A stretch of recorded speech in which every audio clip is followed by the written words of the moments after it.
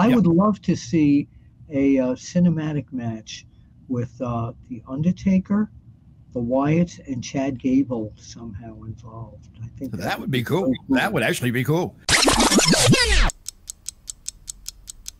So, Bill, let me ask you something. We're in the wrestling time machine. What are some of the best cliffhangers that we've had in wrestling, in your opinion? Well, in back in the, if we're going in the time machine, let's go way back to even the 70s when Bruno Sammartino was WWF champion. And he'd wrestle somebody to a no contest. They'd have him back at the Garden for a second match with uh, some sort of a uh, no contest again. And then the cliffhanger would be that third match. What's going to happen? Those were yeah. great cliffhangers. Cliffhangers in the Magnum TA Nikita Koloff best of seven when they were three and three each. Who was going to take that seventh match? Oh my God, we all waited. So wrestling, pro wrestling is all cliffhangers and it should be. Uh, that's the thing. Like you know, we saw. What about you? Wait, what, what about you? What? what I'm thinking thing? back to some of the TV moments that are cliffhangers, and I'm thinking Vince McMahon's limo exploding at the end oh, of Raw. Uh, things like that to me are what stand out. You know, just that last minute, like. Or how about the Brian Pillman and Steve Austin gun incident oh, uh, on TV?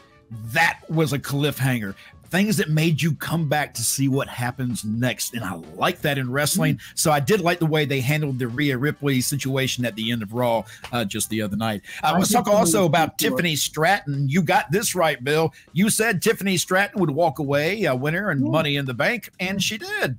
She did because she's the and my, nothing wrong with any of the other ladies. I think Chelsea was very close, but in terms of marketing and viable for a match against one of the champions, it's got to be her. She looks tremendous. She's got that athletic background. Um, my question is I don't know when this is going to happen, but the women's division has changed so much. What's going to happen, in your opinion, when Charlotte Flair clicks that button and says, I'm ready to come back?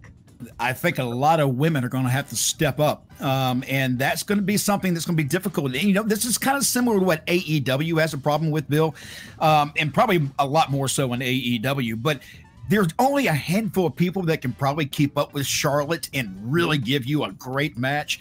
In AEW, there's a handful of people that can give you great match, period. Um, in the women's division, they're just not ready yet. Um, but Charlotte coming back is going to draw out the best in a lot of people, or yes. a lot of people are going to sink one or the other. Yes.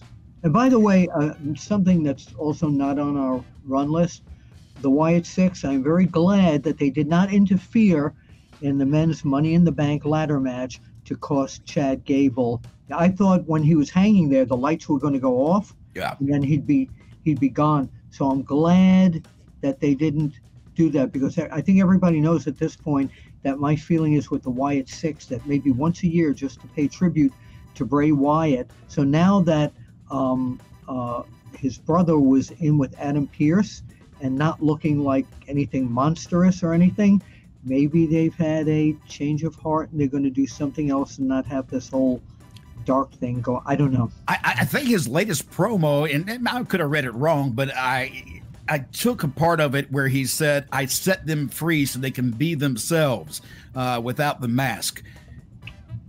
That tells me that we're going to see the faces of the people behind the mask. Those are the ones who are going to be wrestling. Yeah. Um, and that makes a lot more sense. Um, it goes back to more along the lines of the original Wyatt family. If you remember, I always said I love the Louisiana nut job kind of uh, yes, characters that they played because they were believable. Because there are people that are crazy like that out there, and if you can put that on TV where it feels real and creepy, that's where it needs to be in today's day and age, in my opinion. Yeah, I want to see Bo Dallas as. Uh, maybe a creepy Bo Dallas. Yeah, now I think that's what we're going to see. I think Bo Dallas is going to be Bo Dallas in the ring, and uh, Uncle Howdy only comes out in his mind. I think what we're seeing now, it seems like they're starting to go to where we're seeing things that he sees in his mind. Yeah, making and, it a little more believable. I would love to see a uh, cinematic match with uh, the Undertaker, the Wyatt and Chad Gable somehow involved. I think that would be cool. That would actually be cool. Check out Brainbuster, the daily quiz that tests your WWE knowledge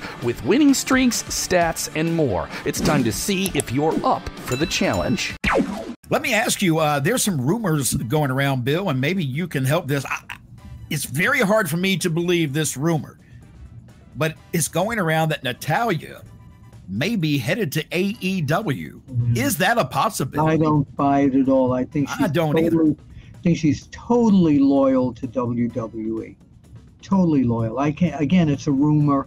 Yes. Um, I, I can't see it. She's been WWE for so many years.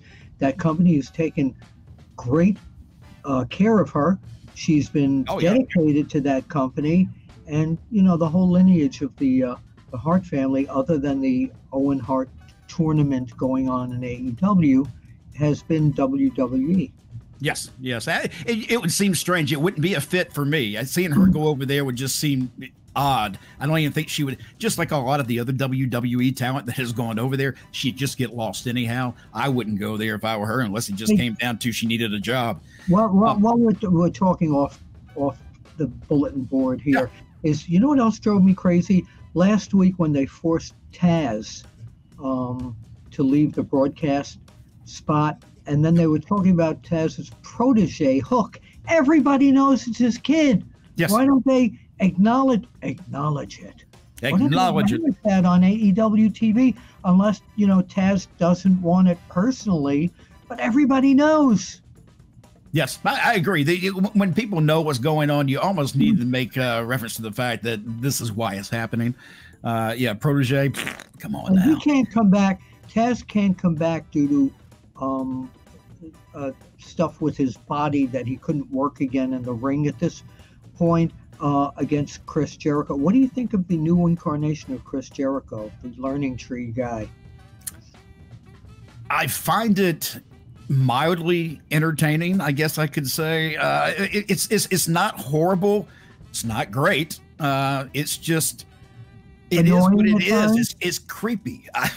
is it annoying to you sometimes? Oh yes, Hi, thank everybody. you. Hey, thank you. Thank you. Everybody loves me. Everybody loves me. You know, and, and yet everybody hates him, and he knows it. Uh, which is it's just great. Well, here I want to mention uh, somebody else too that we have not heard from in quite some time. We are in the wrestling time machine, and that name is AJ Lee, CM Punk's wife. Yeah. Uh, he was asked recently if uh, she might be coming back uh, to wrestling, and he said this it's really all on her. She's busy. I'm super proud of her. She's doing her own thing. I don't even know if I'm allowed to talk about this stuff. She's got a production company started up. She's writing TV, movies, all kinds of stuff. And laughably, I always say I'm a bad husband because I never know what project she's talking about. Oh, I have a meeting, she'll say. And I'm like, with who? Is it Netflix, Hulu, CBS? I don't know she's got so many irons and so many different fires. And that was the end of his uh, comment on AJ Lee getting in. But I, I, think, uh, yeah, I think that's great. Uh, I have seen some stuff that she has done recently uh, outside of wrestling, which uh, I think is fantastic. And uh, it, she looks like she's extremely happy. I can't imagine that she'd want to get back on the road and live that lifestyle again anytime soon. No, but for a shot here and there, like Trish Stratus. Yes. Who looked incredible, by the way, at um, at the last uh, Oh, she she never ages, Bill. I, every time I see her, she just she I swear she doesn't age. She doesn't go backwards. She just sits in that one time period, and you just look at her, you're going, she looks amazing, mm-hmm. and she does. She does. But AJ Lee, I'd like to see her back periodically. You know, I assume that she keeps herself in really, really great shape, and it wouldn't be too difficult for her to go in and uh, do a match or two. Who do you think? Uh, just just throwing it out there, you know, here we just kind of dream matches. If she came back into WWE, who would be some good opponents for AJ Lee? Put her against that new girl that they're really pushing, uh, Lyra Valkyria. Yes, I, I think that would be a really good match. I, you know, she she's small in stature. She's a little bit different right. than a lot of girls. Uh, mm-hmm. So you got to put her in there with somebody that she fits well with, and uh, that may be good. I haven't dreamed about that match yet. You just threw that at me. Well, now, now your mind's just going crazy, isn't it? From now when I go to bed tonight, I will dream of that match, and next week I'll come back and see if I've changed my mind. That sounds good, and we'll hold you to that because we're over. We're out of time at this point, Bill. Oh We're- no, we're it's already over. And we do miss Teddy. Uh, Teddy, we, uh, wherever you are and what you're doing on this secret assignment of yours, uh, we hope you're having fun. And we hope to see you again next week, which I believe we will be seeing him on the next show. So hang in there. He'll be right back. Bill, I've enjoyed it, my friend. me too. We always enjoy getting together, whether it's uh, and tell them what's going on in October. By the way, Uh, oh, we got uh, the International Professional Wrestling Hall of Fame. Uh, you and I will be hosting that event uh, Yeah. this year. yes, yes, yes, And we're going back to our original home, I believe, if I'm not mistaken, Bill. yeah, in uh, Albany, New York, at the uh, uh, what hotel was that? I can't remember. That's why I think it was the DoubleTree.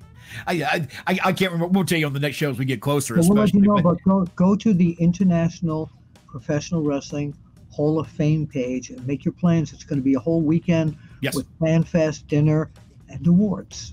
it's going to be a lot of fun. You need to make sure you go by and see us as well because we will be hosting the event, and we always look forward to seeing uh, everybody out there when they stop by and say hey to us. So please stop by. Uh, again, that uh, go to International Professional Wrestling Hall of Fame's uh, website. Uh, I wish I could tell it to you off the top of my head, for the life of me, I cannot. just go to Google, go to International Professional Wrestling Hall of Fame. It's right there.